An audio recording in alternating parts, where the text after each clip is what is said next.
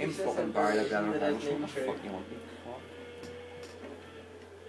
Martin boy, have you seen Martin and senior kart Martin, you know, from the farming, you know, Martin boy, yeah.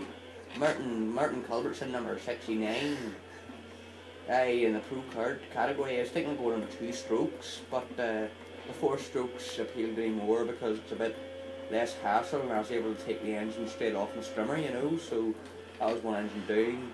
The second engine from RPM Services. Um, I out there on the pro kart chassis. I went with the good old seven card chassis because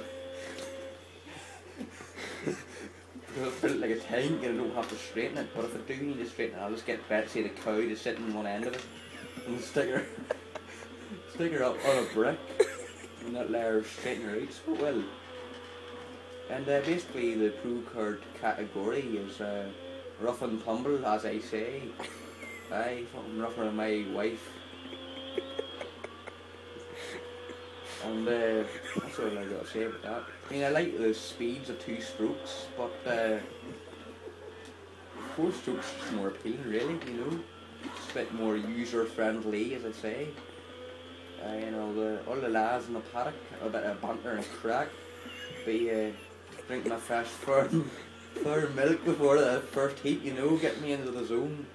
And uh, bring a few of the sheep down to watch me, give me a bit of moral support and help me work, help me work on the cart. uh, the sheep are good at organising the spanners and all that there.